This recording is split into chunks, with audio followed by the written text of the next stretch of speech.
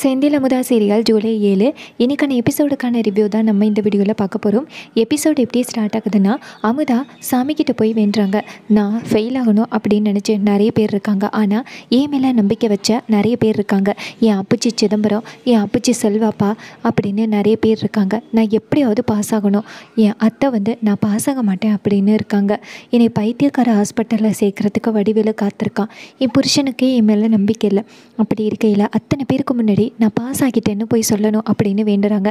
அதே நேரத்தில் அங்கேருந்து உமா வராங்க. உமா என்ன சொல்கிறாங்கன்னா என்னடி நீ பாஸ் ஆகிடுவேன்னு நம்பிக்கையில் இருக்கியா? நீ எப்படியும் ஃபெயில் ஆகிடுவ ஏன்னா உன் பேப்பரை திருத்தின அத்தனை பேருக்கும் காசை வாரி இறைச்சி உன்னை ஃபெயில் ஆகிட்டேன் அப்படின்னு சொல்கிறாங்க இதை கேட்டுட்டு அமுதா அதிர்ச்சி ஆகுறாங்க.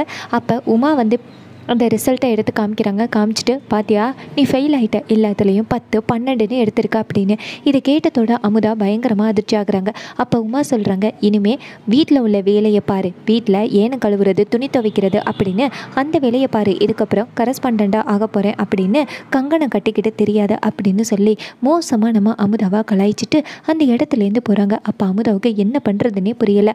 அப்படியே ரொம்ப சோகமாக வீட்டுக்கு வராங்க. அப்போ வடிவேலு கேட்குறான் என்ன பாஸ் ஆகிட்டியா? அப்படின்னு. அதுக்கு அமுதா அமைதியாக நிற்கிறாங்க அப்போ மாணிக்கம் கேட்குறாரு என்ன பாஸ் ஆகிட்டியா அமுதா? சொல்ல அமுதா நாங்கள் எல்லாருமே ஆர்வமாக வெயிட் பண்ணிக்கிட்டு இருக்கோம் அப்படின்னு. அப்போ வடிவேலு என்ன பண்ணுறாருன்னா நீங்கள் ஏன் வந்து அவகிட்ட கேட்கணும் நான் ரிசல்ட்டை காமிக்கிறேன் அப்படின்னு ரிசல்ட்டை காமிக்கிறாங்க. பார்த்தா அதில் அமுதா ஃபெயிலாக இருக்கிறது தெரியுது. இதை பார்த்ததோட எல்லாருமே பயங்கரமாக அதிர்ச்சி ஆகுறாங்க. அன்னலட்சுமி ஒரு பக்கம் சந்தோஷப்படுறாங்க. இன்னொரு பக்கம் வடிவேலு சொல்கிறாங்க இதைத்தான் நாங்கள் அப்பையிலேருந்து சொன்னோம். நீ எப்படியும் ஃபெயில் ஆகிடுவோம் அப்படின்னு.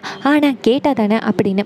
சரி நான் ஏற்கனவே ஃபோன் அடித்து சொல்லிட்டேன் பைத்தியக்கார ஹாஸ்பிட்டலுக்கும் நீ அனுப்புறதுக்காக அப்படின்னு.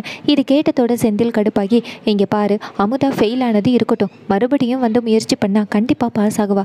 ஆனால் அவளை பைத்தியக்கார ஹாஸ்பிட்டலில் அனு அனுப்புகிறேன்னு சொல்கிறியே இதெல்லாம் ரொம்ப ஓவர் அப்படின்னு சொல்லிட்டு வடிவேலு கூட சண்டை போடுறாங்க. அப்போ மாணிக்கம் தடுத்து வர்றாரு அமுதாவுக்கு ஒரு தைரியம் சொல்லாமல் நீங்கள் பாட்டுக்கு சண்டை போட்டுக்கிட்டே இருக்கீங்களே அப்படின்னு அந்த நேரம் பார்த்து திடீர்னு அந்த நேரம் பார்த்து திடீர்னு ஜட்ஜையா வராரு. ஜட்ஜையா நேராக அமுதாவை பார்க்குறாங்க. அமுதாட்ட கேட்குறாங்க என்ன அமுதா பாஸ் ஆகிட்டியா அப்படின்னு. அப்போ அமுதா அமைதியாக நிற்கிறாங்க அப்போ ஜட்ஜையா கேட்குறாரு என்ன அமுதா வாயை திறக்க மாட்டேங்கிற சொல்லி என்னாச்சு? அப்படின்னு. அப்போ வடிவேலு சொல்கிறாங்க எப்படி அவள் வாயை திறப்பா?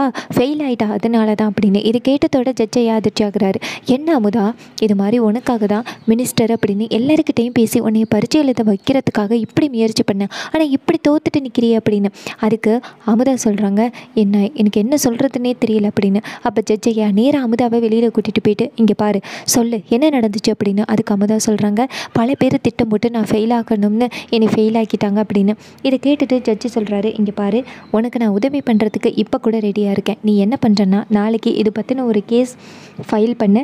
நான் அதை பற்றி உடனேயே விசாரிக்கிறேன் அப்படின்னு சொல்கிறாங்க இதை கேட்டுட்டு அமுதாவும் ரொம்ப சந்தோஷப்பட்டு சரிங்க ஐயா அப்படின்னு சொல்கிறாங்க அப்போ ஜட்ஜி சொல்கிறாரு இங்கே பாரு நீ பாஸ் ஆகிருவேன்னு நம்பிக்கை இருக்குல்ல அப்படின்னு அதுக்கு அமுதா சொல்கிறாங்க நான் கண்டிப்பாக பாஸ் ஆகுவேன் அப்படின்னு அமுதா சொல்கிறாங்க உடனே ஜட்ஜு சொல்கிறாரு சரி நாளைக்கே நீ கேஸ் கொடு நான் அதை உடனேயே விசாரிக்க சொல்கிறேன் அப்படின்னு சொல்கிறாங்க இதை கேட்டுட்டு அமுதா ரொம்ப சந்தோஷப்படுறாங்க.